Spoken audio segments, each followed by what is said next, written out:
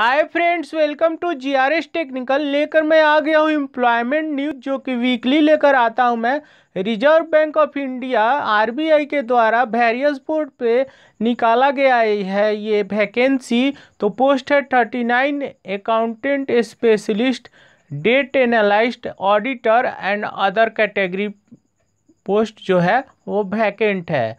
तो eligibility criteria है B होना चाहिए इंजीनियरिंग में, bachelor in engineering, bachelor in technology M tech P G M C A या अदर क्वालिफिकेशन भी आप अप्लाई कर सकते हैं।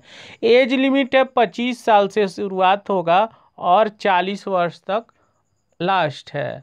लास्ट डेट है उनतीस अप्रैल, ये एक्सटेंड भी हो सकता है अगर लॉकडाउन एक्सटेंड होगा तो। एप्लीकेशन फ़ी है मात्र सौ से छः सौ रुपया कैटेगरी वाइज ये जो है, ये अलग अलग कैटेगरी वाइज बांटा गया है।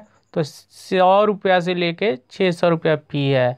सैलरी अभी नॉट एसीफाइड है, अभी नहीं शो कर रहा है ऑफिशियल वेबसाइट पे। आपको चल जाना है आरबीआई के ऑफिशियल वेबसाइट पे, मुंबई ब्रांच ब्रांच आप ध्यान रखें मुंबई, और ऑनलाइन आवेदन कर देना है जल्द से जल्द।